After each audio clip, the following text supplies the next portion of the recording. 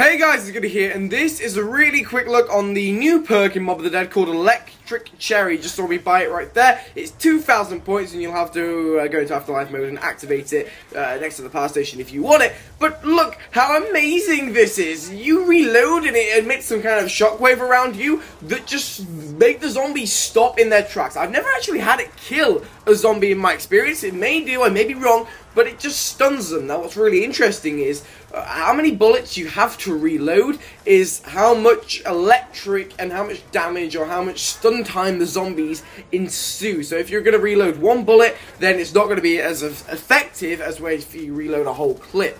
Another thing is, if you reload cancel, it knows. It will work for the reload cancel, but it won't actually work for the proper reload. So use it wisely, but it has got me out of some very sticky situations when it comes to getting surrounded by a horde of zombies. I reload, they're all stunned, and then just jump away. It's brilliant. So that was Electric Cherry, guys. Hopefully you enjoyed it. It's been good again. Goodbye.